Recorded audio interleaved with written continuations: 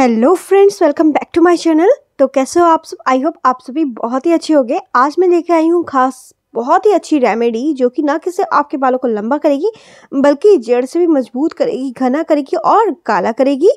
तो ये रेमेडी बच्चे भी यूज़ कर सकते हैं, बड़े बुज़ुर्ग भी यूज़ कर सकते हैं। सभी इस रेमेडी को बिना किसी साइड इफ़ेक्ट बेझिझक यूज़ कर सकते हैं।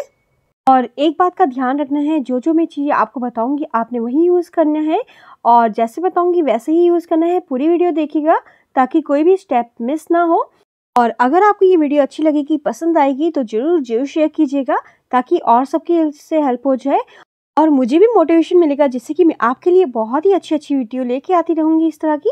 और हाँ जी, एक चीज़ और, अगर आप कोई भी टॉपिक पे वीडियो चाहते हो तो कमेंट करके जो बताइएगा, मैं वीडियो ज़रूर बनाऊँगी। तो चलिए वीडियो स्टार्ट करते हैं। तो इसके लिए सबसे पहले आपने लेना है अमला पाउडर देखिए, आप आंवले को अभी सीज़न भी है तो आप आंवला फ्रेश आंवला लीजिए, उसको आप ग्रेट करके उसको पाउडर बना सकते हो, सुखा करके ग्राइंड कर लीजिएगा। आपका होममेड पाउडर रेडी हो जाएगा, नहीं तो आप ऑनलाइन ईजिली मंगवा सकते हो, किसी ग्रॉसरी स्टोर से ले सकते हो। इसके बाद अब आपने इसमें डालना है मेथी दाने का पाउडर ये हमारे बालों में काफ़ी अच्छी तरह से वर्क करता है। अगर ग्रो नहीं हो रहे हैं ना, झड़ रहे हैं, काफ़ी वीक हो गए हैं तो उन सब में ये काफ़ी अच्छी तरह से वर्क करेगा। आपने ये डाल देना है। अब इसके बाद आपने इसमें डालना है इंडिगो पाउडर जी हाँ इंडिगो पाउडर डालना है, जो कि तेज़ी से आपके बालों को काला करता है। इसको नीम पत्ती का पाउडर भी कहा जाता है। ये ऑनलाइन या फिर किसी भी ग्रोसरी स्टोर से जहाँ से आप पाउडर लेते हो, वहाँ से आराम से इजीली मिल जाएगा। तो आप इसको ज़रूर ज़रूर डालिएगा अपने इंग्रेडिएंट्स में। इसके बाद अब आपने इसमें डालना है मोरिंगा पाउडर। जी हाँ मोरिंगा पाउडर आपने वन टीस्पून डालना है। ये आप ऑनलाइन ले सकते हो या फिर आप किसी भी ग्रॉसरी स्टोर से, जैसे कि मैंने पहले भी बताया, आप वहाँ से भी ले सकते हो। इसको डाल दीजिएगा। अब आपने शिकाकाई पाउडर डालना है। कि जो भी पाउडर्स मैं आपको बता रही हूँ ना, ये सभी नेचुरल वे से वर्क करते हैं। बच्चे और बुज़ुर्ग भी पहले ही मैंने आपको बताया, वो भी लगा सकते हैं। और हाँ जी, अगर आपके पास और कोई पाउडर अवेलेबल है तो आप वो भी डाल सकते हो। अगर नहीं है, बाई चांस तो आप स्किप भी कर सकते हो। मगर आप डालोगे तो बेस्ट रिज़ल्ट आपको मिलेगा इसमें। और अब आपने इसमें डालना है काला कत्था। अगर बालों को काला बनाने की बात है ना तो काला कत्था तो मस्ट है। तो आपने ये डालना है, ज़्यादा नहीं, ओनली हाफ़ टी स्पून ही आपने इसमें डालना है।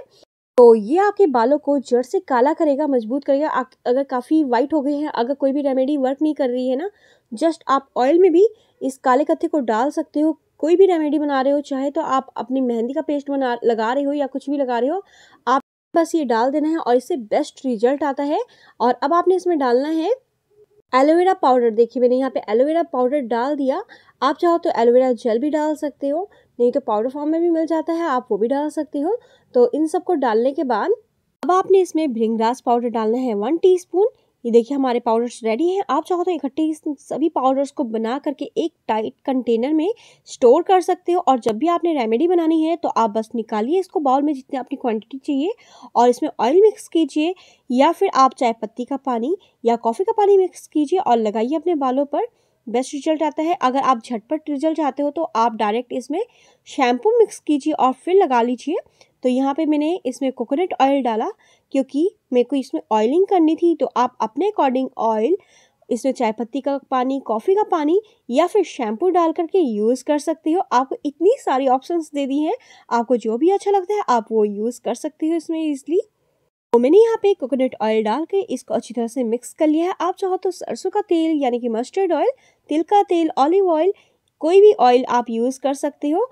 और ये देखिए, हमारी रेमेडी रेडी है। आप इसको अच्छी तरह से मिक्स कर लीजिए और अपने बालों पर लगा के रखिएगा। चाहे तो अगर आप रात भर नहीं लगा सकते हो ईचिंग की प्रॉब्लम हो रही है इन सभी पाउडर्स की वजह से तो आप एटलीस्ट दो घंटे पहले इसको लगा लीजिए। नहीं तो रात को लगा के अगर आप रख सकते हो तो बेस्ट है। और हाँ जी, जब भी लगाओगे तो अपने पिलो का ऊपर आप कोई भी पुराना कपड़ा बिछा लीजिएगा जिससे वो गंदा ना हो। तो इसको आपने लगाना है एटलीस्ट दो घंटे तक के लिए। उसके बाद आपने नॉर्मल वॉश कर लेना है। किसी भी हर्बल शैम्पू से आपका जो भी फेवरेट शैम्पू है, उसे वॉश कर लीजिए और वीकली आपने इसको दो से तीन बार इसको यूज़ करना है बेस्ट रिज़ल्ट के लिए। तो आई होप दोस्तों आप सबको आज की वीडियो पसंद आई होगी तो कमेंट करके बताइएगा नेक्स्ट वीडियो आप कौन सी देखना चाहते हो। तो चलिए मिलती हूँ आपसे न्यू और अच्छी अच्छी वीडियो के साथ। Take care and thanks so much guys for watching this video bye bye